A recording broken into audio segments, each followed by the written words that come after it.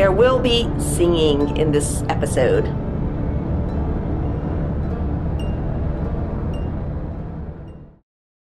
Hey there, and welcome to Speak English with Christina, where you'll have fun becoming fluent in American English. I'm your English coach, Christina, and if you follow me on Facebook, you know that lately I'm obsessed with the musical Hamilton. Ha- have you heard of it? Lately, I've been listening to it nonstop, and I realized that the lyrics are full of chunks expressions to make you more fluent in English. Because when you're an English teacher, you notice these kinds of things. And I wanted to share them with you because, well, it'll help your fluency in English. Let's go.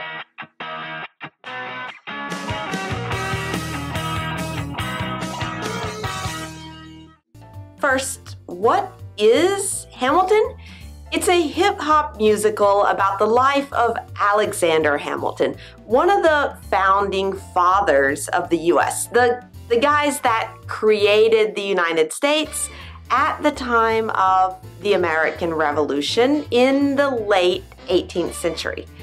Hamilton came from a poor, broken family in the Caribbean and succeeded in rising up to become an important person in American history. It's the kind of self made man story that we love in the US. And the New York Times called the show the most celebrated cultural phenomenon of our time. It's won 27 awards, a huge number, and it stars actors of different colors and backgrounds because the creator wanted the cast the actors to look like the population of the US, very diverse.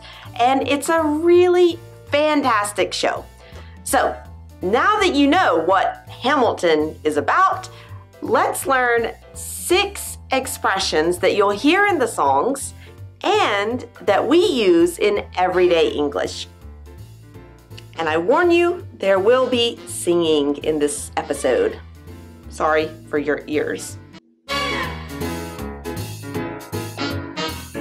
When Hamilton arrives in New York City, he sings, I'm not throwing away my shot. I'm not throwing away my shot. And he sings it better than me. But this expression means I'm not going to lose my opportunity or lose my chance. Like, I have a big interview and I don't want to throw away my shot. So I'm gonna really prepare. I don't wanna lose this chance. I don't wanna throw away my shot.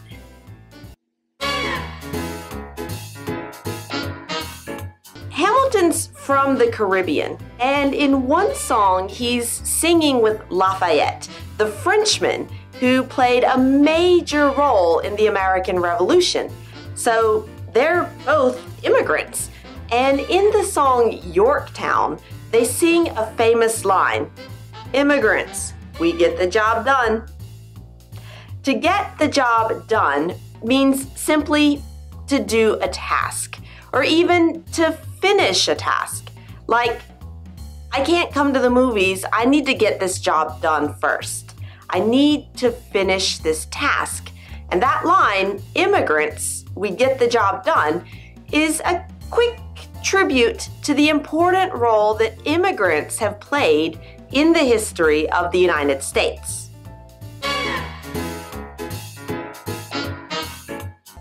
In the same song, Yorktown, the entire cast sings, The world turned upside down. The world turned upside down.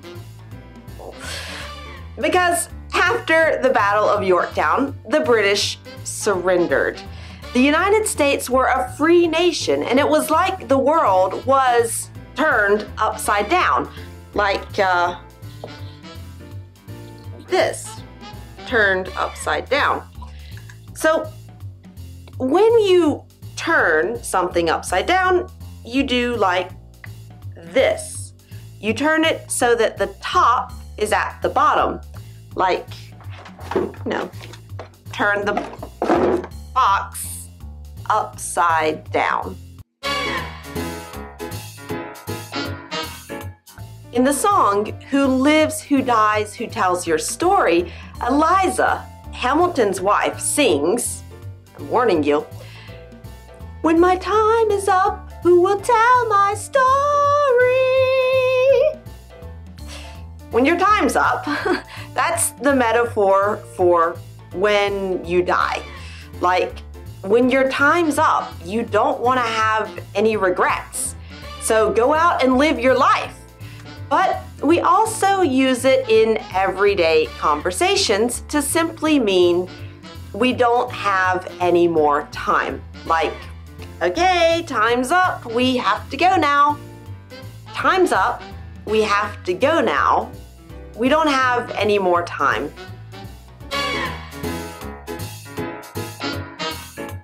In the song Nonstop, the chorus hints at the fact that Alexander Hamilton will die relatively young and at the peak of his career.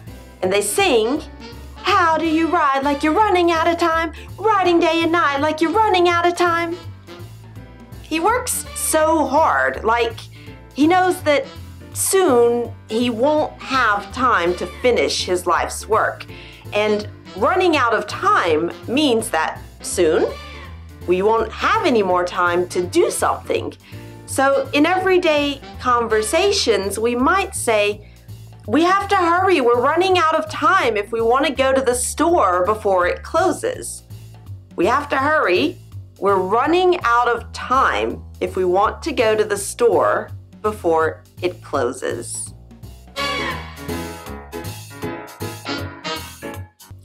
Take a Break is the title of a song where Alexander Hamilton's wife begs him to take a break from his nonstop work. Hamilton was very ambitious and worked hard all the time. Even during his life, his hard work impressed people. And to take a break means to pause, to stop for a short time. And you've probably heard someone say, okay, so let's take a break. Let's take a break. Let's stop working for a short time. And Hamilton responds, I've got so much on my plate. I've got so much on my plate, or I've got so much work to do.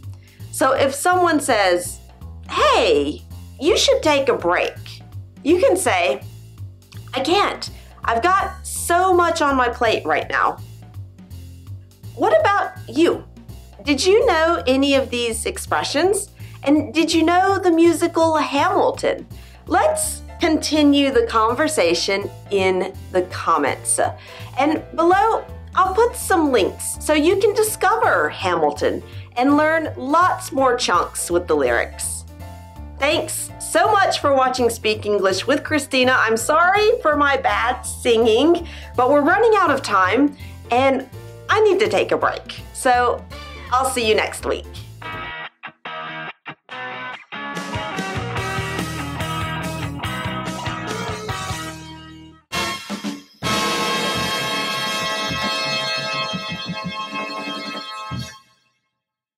I'm not throwing away my shot.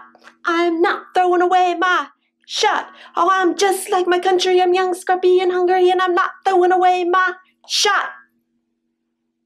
Nah, I'm gonna keep teaching English. That's probably a better idea.